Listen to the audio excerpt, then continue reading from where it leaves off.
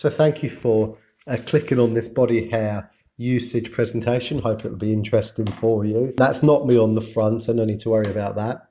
So, why is body hair used? And I'll explain the body hair that we do try to employ. Traditionally, we look at the usage of body hair whereby the patient has extensive loss, can be a Norwood 4 or 5 or a 6 uh, hair loss sufferer, and they've literally got insufficient scalp donor to be able to meet the goals that they've set for themselves. And so, body hair can be utilized in synergy with scalp hair to further then give them that donor potential or it can be used whereby patients have had their scalp hair exhausted uh, or damaged through previous strip or even FUE surgery. We're seeing quite a lot of decimation in FUE over harvesting, or it can actually be through trauma or through an illness that the patient has suffered. And we can see on the examples here of a patient that had strip surgery, quite a big scar, but the good thing is it was localized. You know, strip scars are very localized, they don't take up all of the donor area, and if the strip is not too bad and the patient hasn't miniaturized under, we can harvest from under the scar. This patient did have some miniaturization underneath. So, as well as having the problem the strip, it's the impact of the strip scar on the donor. And the patient on the right had more FUE, very poor extraction pattern, and over harvesting, which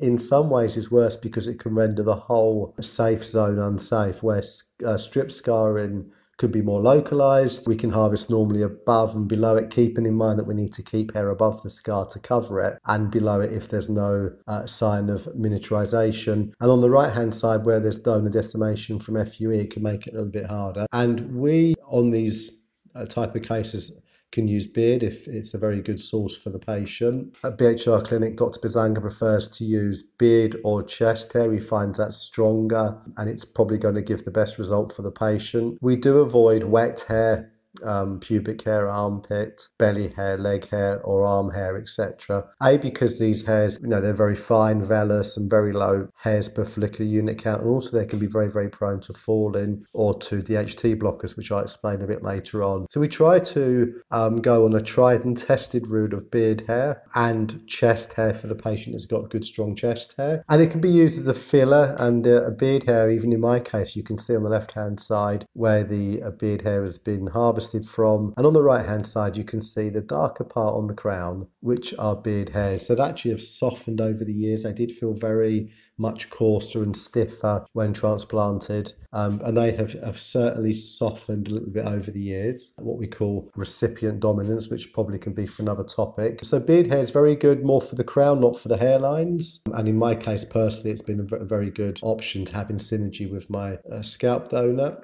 Another usage of beard can be going into scars, and here we have a case whereby the patient had very severe scarring. The donor was not good enough to give the amount of grafts needed, and so we went into this patient's beard with quite a few thousand grafts over several surgeries and placed it into scar tissue is a little bit different. It's avascular, so you need to go lighter on density where there's going to be more chance of survival for the follicular unit and also at the angles that will be good enough to get into the blood supply. And here we had a great result using purely beard for this patient. So, what are the considerations when it comes to compatibility? And I'll be looking at what's called alliteration. We're going to use letter C. So, we look at coarseness. How coarse is the hair? We look at the colour of it, the curl, the count, the cycle, and any contraindications. So the coarseness is quite evident. If they've got fine hair on their scalp and coarse beard, it may not be able to be used unless we use it in a way that it's really a filler. And the colour of the hair needs to match quite well. On the cases on this presentation, it's black on black or grey on grey. I do recall a patient had very fine blonde hair and a big coarse ginger beard, and we were not able to offer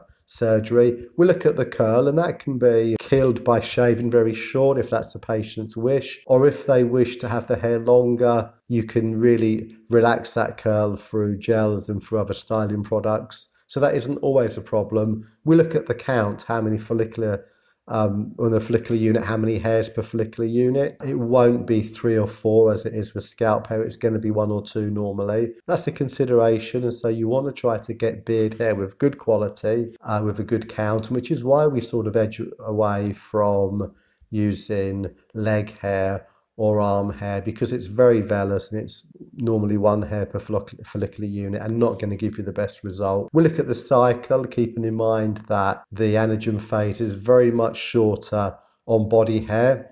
Chest hair has a shorter anagen phase uh, than the beard hair, and the beard hair has a shorter anagen phase than the scalp hair. So that's again why we try to look at that hair will be growing more, or if you're going to use chest hair, try to shave it two or three weeks prior to surgery and so any hair visible at the surgery date will then be in the anagen phase. We can transplant that and hope then for faster growth on the scalp. And the last thing is contraindications. And I talk from personal experience when I was on a DHT blocker that my body hair got weaker. My beard was fine. My chest hair, my arm hair, my leg hair got weaker.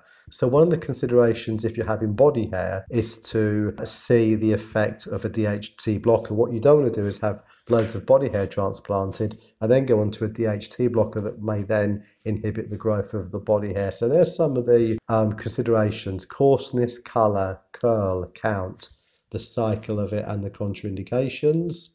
There's some of the things that we certainly try to edu- educate on with the patient. And then we look at some of the challenges. Well, the direction and the depth of the graft are quite different to scalp hair. Chest hair can be all different angles, and actually, beard hair follows different directions. So you need to have a very good surgeon for this. Trying to get the graft in the anagen phase, shaving a few weeks prior, and then you, any hairs that are breaking through the skin, we know we're in the anagen phase to harvest. Avoiding scarring. This comes into um, the type of FUE tools used, the skill of the surgeon, the size of the punches, and especially when you're going into visible areas such as the beard, you wish to really try to avoid scarring for the patient. Keep in mind you're going to need more probably body hair follicular units in order to give you a pleasing result purely by the fact of the coarseness can be different. It won't be three or four follicular um, hairs per follicular unit. It can be one or two. So you need to take into account those facts as well and take into account the medication the patient is on. If they're on DHT blockers, how that will actually affect their body hair. And lastly, to get a natural result with body hair results, the best thing is to try to blend it and make sure that you deploy those follicular units in the best part of the scalp to give that person the most natural result. So there's some of the things in this presentation you can ponder and think about with, with body hair and, and of course feel free to contact us with your case if you're wishing to go down that route we'll be more than happy to assist you. Thank you for watching. Please press the like button and um, we are very happy to uh, give consultations to those who wish it. So please follow the link and why not click for your free personal consultation with Dr. Bisanga. Thanks again for watching and we hope to see you soon.